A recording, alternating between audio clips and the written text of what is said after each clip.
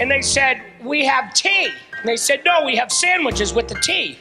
Mine had a cucumber in it. That's pickle. That, that comes with the sandwich. Take mine back and put a sandwich in it. For breakfast in England, I ordered a bacon and egg sandwich. Sounds good, but the bacon, it's different. It's all wrong, and it wasn't cooked properly. Now, when I look at something and go, you know what? That ain't healthy.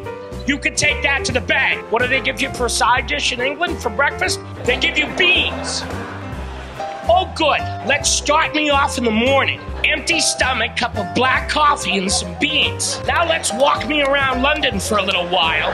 Get me all churned up. Put me in a taxi and see what happens. I blew the doors off a taxi.